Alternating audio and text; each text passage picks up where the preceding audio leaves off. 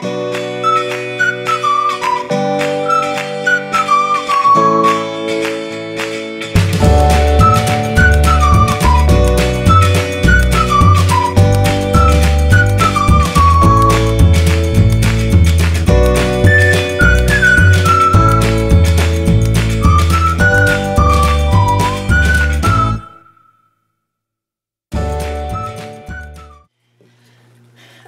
took some of her papers and I put them together to make a small signature here. And just like how we did our little mini travel journal last month, I am not measuring anything. I'm doing the three-hole uh, pamphlet stitch and I'm just eyeballing it.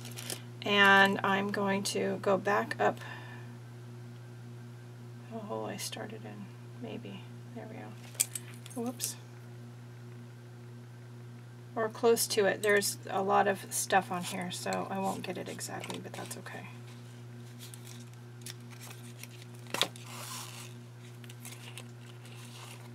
I'm going to make sure one end is on each side of that center string, and then we are going to just tie it off. I got out my big bookbinding needle and some of my um, thicker bookbinding thread to do this with, tie it in three knots there cut it off. There we go. That is cute. And then I we're going to put this back here, and I actually think that we're going to... Initially, I was thinking that we would just glue it in. Um, we may still do that. I have another idea that's floating around in my head, but while we're thinking about that, we're going to um, look at this, and we are going to tuck some of these things of hers in the pockets. These things that were special to her, enough to save at least. She had this piece of fabric here that says linen laid on the casket containing the head of Blessed Martin de Porres O.P. So I don't know who he was, but somebody special, and I think we're going to just glue it right into the cover.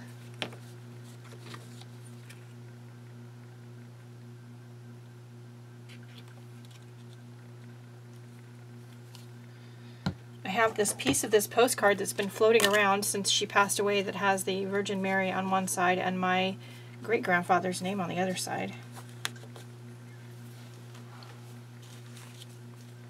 Maybe we might use, let's see how far we get with this. Oops. See, I already put lumpy stuff on the cover, so I have to be careful. We do still have our stamp that we used on the other part. I think we're going to use it here too. It won't come out perfect, but I'm okay with that.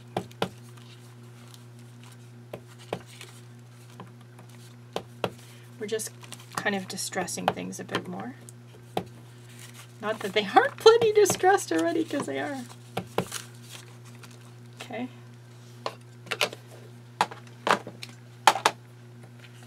I like that so far.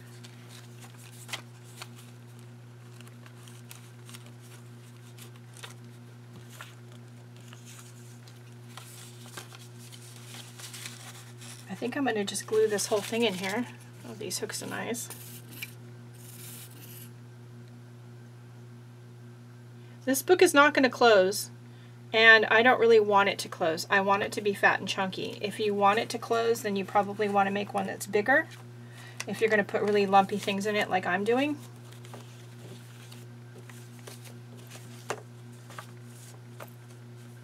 Here's another little religious thing in Italian with a wax seal on it and a little bit piece of fabric. I don't know what it is, but because I don't read Italian. But we're going to tuck it in a pocket. And I used the stickers again that we made from our vintage papers to close up the edges of this crochet pamphlet so that we could have a pocket. We also have this, the miraculous medal with the medal. I don't know. So we're going to put that here on the other side if it fits. Yep.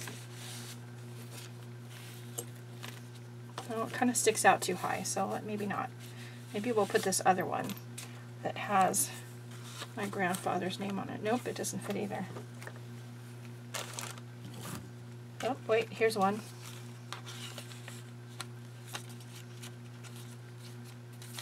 I have some pictures of my grandmother and more than the one that we used and the family. Let's see.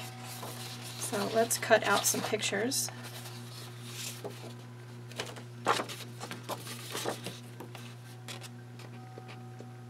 I like this one of her when she was young.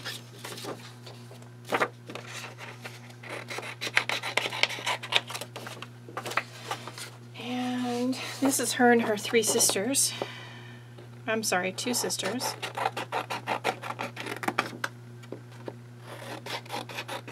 Because I don't know how to count today. so let's cut these out.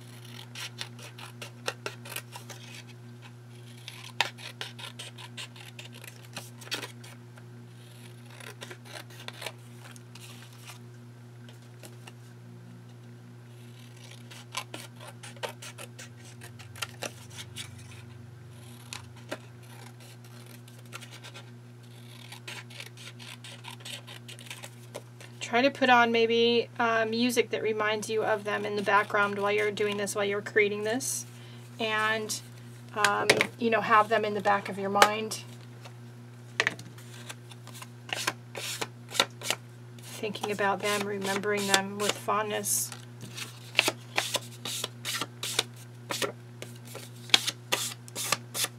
And you probably can't see that that's doing anything on camera. It's really just taking the white edge off of the photos which is what I want. I'm going to use tape runner on these.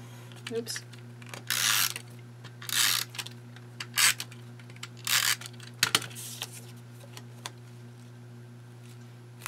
Without my hair. okay, let's, we have this other photo. Let's maybe put it there.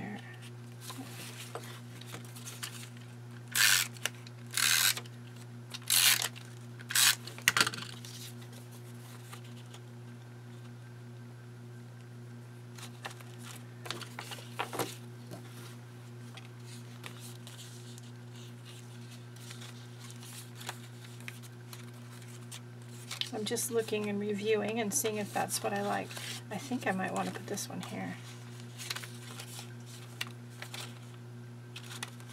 Prayer to St. Anne. Well, it has a prayer on the back, so I have a lot of those.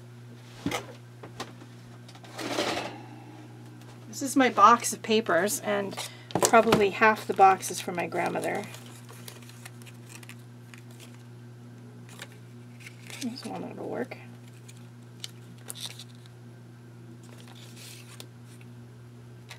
There's a lot of these, I'm telling you. She had, uh, I don't think she ever threw any of them out.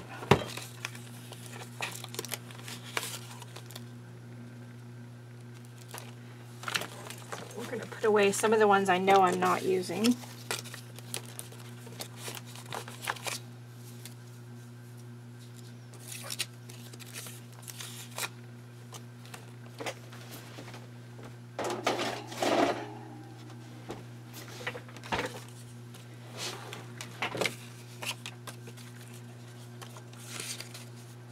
You know, she loved to cook, so it would be wholly appropriate to use some of this um, vintage um,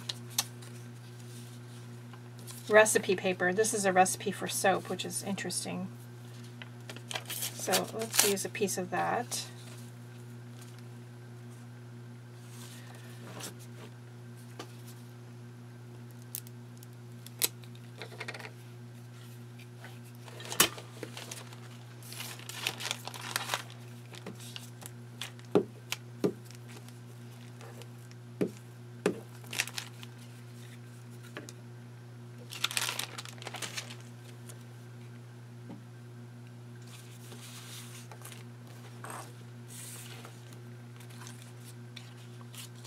Don't know that she ever made homemade soap, but it's an interesting recipe nonetheless.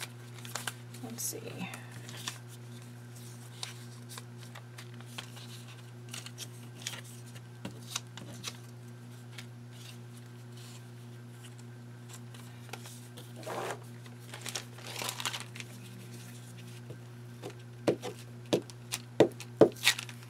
Oops.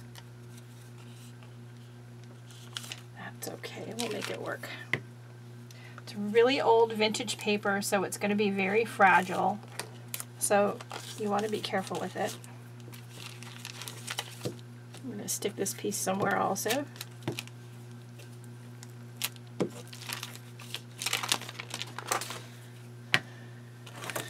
somewhere.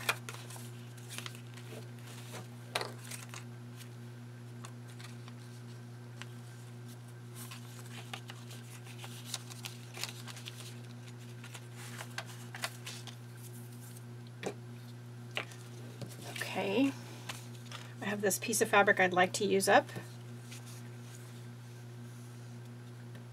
Let's see, how would it be? Oops.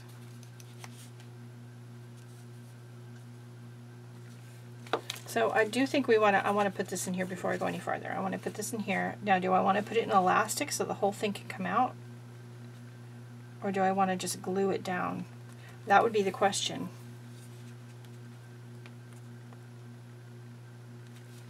I could put it on.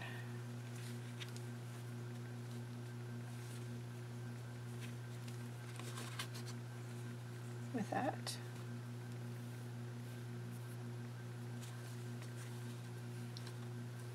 Yeah, I want to put this there. That I do know. So let's get that on there. I want that crazy edge sticking out. And then I do think I want to just put this on here. I want to just lay it on. So we're going to glue the back of the little envelope only.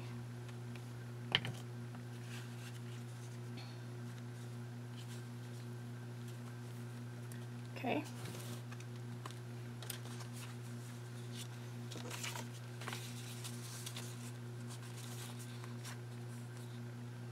I forgot I had this little this big piece of paper. I do think I want to stick this in here.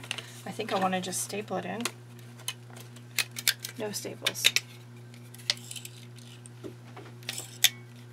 Um, no, you know what? We're going to glue it in A couple of reasons. One of being I don't want to go get up and go get the staples and turn the camera on and off again.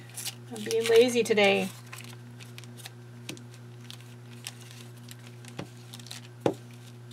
Again, be careful with this old paper because it's pretty fragile.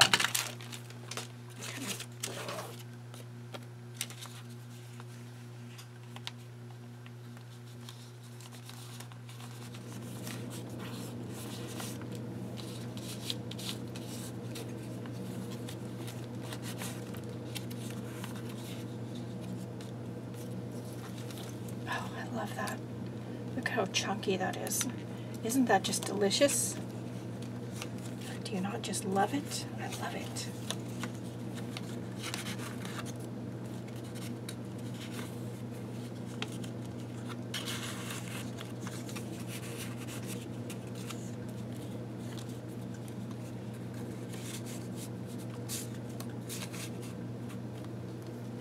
I love that.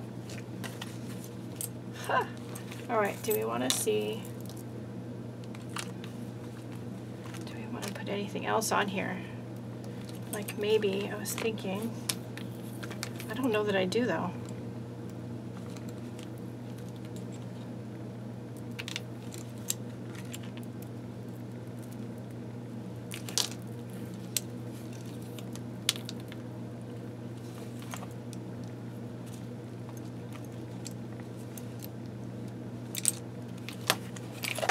Let's see, what do we have in here? Lots of stuff. I've got a safety pin. I want to use stuff out of her box. Oh, there's something interesting.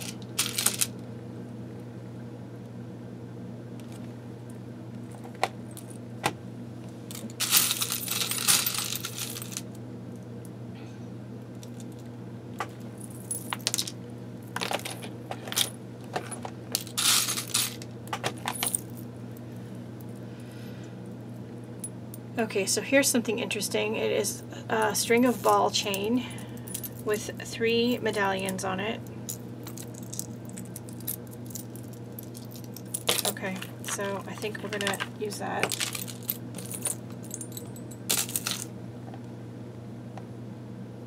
I have some sort of, I don't know what this is. It has like a, a screw nut on the back.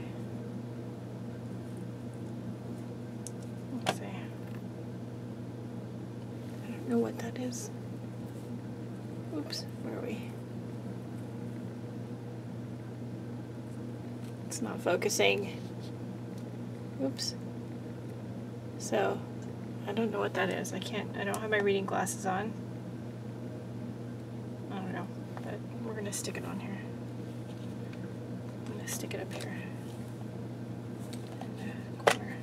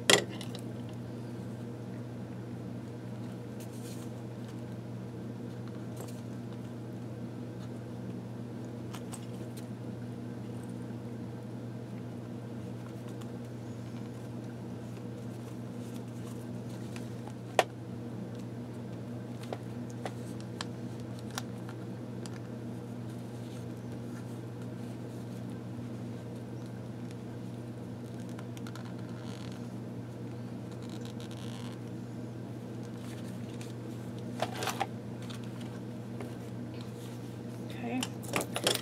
We have this thing.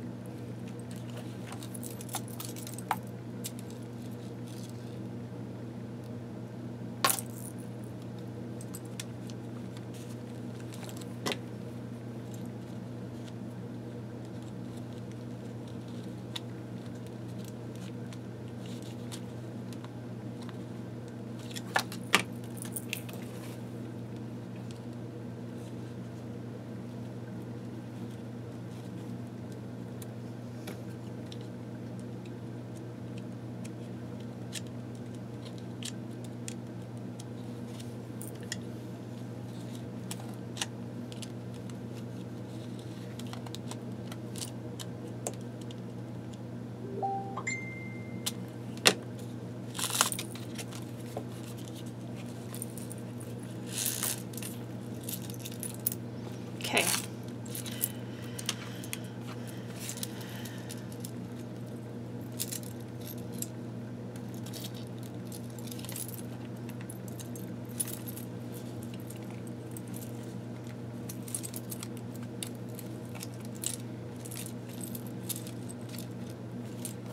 I love that. All right, we're gonna clean up.